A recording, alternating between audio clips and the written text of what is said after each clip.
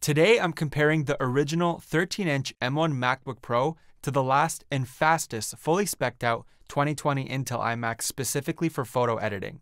I'll be doing processing and export tests in Lightroom, browsing speed tests, tests in Photoshop, as well as a few other general tests. The M1 family of processors has proven to be quite capable, so can the first and most basic generation of M1 compete against a much beefier Intel iMac?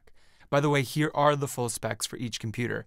The M1 MacBook Pro only costs $1,300 US, while the 2020 iMac costs $4,900. First test is in Lightroom, being copy and paste test to see how long it takes to paste effects. Using photos taken with the Sony a7S III, which has 12 megapixels and 25 megabyte photos, pasting effects to 77 photos takes the iMac only 1.61 seconds. And the M1 1.74 seconds. Basically the same, and honestly, probably not even worth testing, but I did want to try another test using the Nikon D780, which has double the megapixels at 24 and 28 megabyte photos. This time I pasted effects to 409 photos, which took the iMac 3.88 seconds, and the M1 was a little faster at 2.7 seconds to paste effects. Moving on to export tests in Lightroom. I used the same group of photos from the previous example and exported first in PNG and then in JPEG. Things were significantly slower than the copy and paste tests. Exporting to PNG, the Sony a7S III's 77 photos took the iMac 3 minutes and 23 seconds, or 3.38 minutes, while the M1 was almost twice as slow at 6.52 minutes.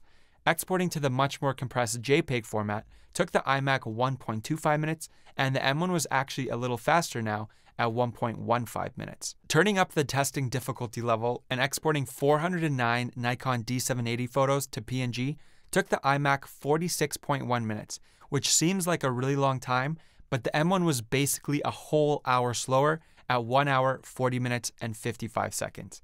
It's insane how much faster JPEGs are able to process because the same round of photos was only 9.15 minutes on the iMac, and the M1 was surprisingly just right behind at 9.17 minutes to export to JPEG. The M1 is generally holding up so far, disregarding the PNG export that is. Next round of test is seeing how smooth each Mac can browse through photos. First using the Sony a7S III, and shuffling through raw photos isn't super smooth on the M1, taking approximately 667 seconds to flip between photos, while the iMac skips through the raw photos without delay. For PNG versions of the photos, the M1 reduces load time to 417 milliseconds, and the iMac takes about 458 milliseconds to get to the next photo. The last and easiest file format JPEG shuffles stutter free on the M1, while the iMac takes about 292 milliseconds. I tried this round of tests with the Nikon D780, which slowed the iMac to a load time of 1.29 seconds for raw photos. The M1 was a little quicker at 833 milliseconds. For PNG, the iMac took 1 second. And the M1 was faster again at 667 milliseconds. And lastly, for JPEG, the iMac was still a little bit slower, taking 250 milliseconds to preview the next photo. And the M1 previewed each photo without delay. For the next round of tests, we are in Photoshop. I wanted to test smoothness because there's nothing worse than working on a photo and your computer lagging after each input. After using Photoshop for a couple years over a few different Macs, I've noticed that lagginess would happen most often when I'm masking and isolating areas by hand. Comparing the iMac to the M1 using a raw photo from the D780, the iMac does not mask in real time. It takes 1 to 2 seconds before it registers the input after I let go of the mouse. This makes masking pretty difficult with the iMac, while the M1 is incredibly smooth in comparison, processing the input in real time. Using a PNG photo from the a7S III, the iMac is a little bit better, taking between 0.75 and 1.13 seconds to register the input, while the M1 continues to be really smooth, but may actually be even smoother than the raw image from the D780. This is awesome to see from the M1, and it's the type of performance I'm always looking for, being able to make real-time changes while photo and video editing without any delays. Next, I tested how fast time-lapses would render and export in Photoshop. Using the sunrise time-lapse consisting of 409 PNG photos shot with the D780, it took the iMac 2.62 minutes to render, and 3.62 minutes to export. The M1 was slower in the render, taking 3.45 minutes, and also slower in the export at 4.22 minutes. I did notice, however, that the M1 could not hold the render as shown by this green line.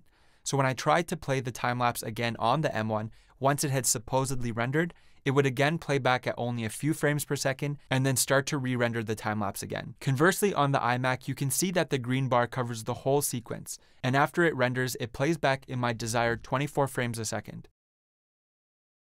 Trying the same sequence in JPEG, the results were very similar.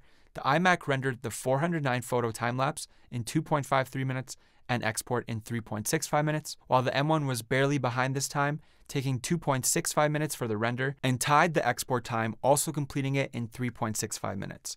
The M1 couldn't hold a render for JPEG format either though. The last few tests I wanted to run aren't exactly photo related, but I thought they were worth knowing about. First one is transferring speeds of downloading a 100 gigabyte file off an SSD and then back onto the SSD. The file is a mix of 568 photos and videos and 100.28 gigabytes of data to be exact. Downloading the file off the SSD onto the iMac took 3.15 minutes, while the M1 was a bit slower at 4.27 minutes, and transferring the same file back onto the SSD from the iMac was 4.18 minutes and 5.47 minutes on the M1 MacBook Pro. Lastly, I just wanted to quickly discuss video editing on these Macs. I've already uploaded a separate video linked here and down below in the description where I extensively run only real world tests on the iMac and the M1, so I won't discuss any of the results here. But something I didn't go into in those videos is that I found some Apple screens are able to see more detail in the highlights of an image, while other Mac screens blow out those details. Looking at this image, you probably can't see very much detail in these clouds.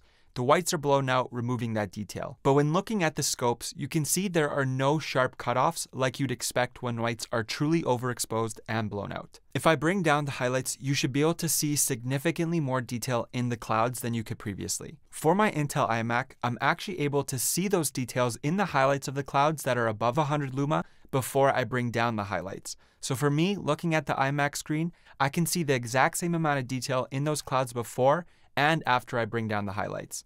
Testing this out on the M1, I cannot see those details above 100 luma, and they only become visible when I bring down the highlights. The rule of thumb anyways is to keep your highlights below 100 luma so that when you're sharing your videos on other screens or platforms, those details aren't lost no matter what. But I thought this was interesting because the iMac is actually the only Mac I've tested that can see those additional highlight details. So does Apple's new generation of M1 chips stack up against the older Intel ones? Well, being that this is the most basic and entry level M1 chip, and the Intel iMac is not only a desktop computer, but the last and most powerful Intel iMac there ever will be, the M1 is truly impressive, with it being barely behind in most of the tests, as well as matches and even did better than the iMac in some.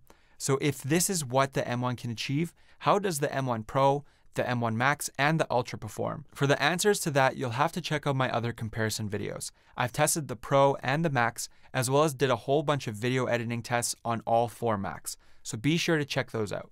Thank you very much for watching, and I hope you have a great day.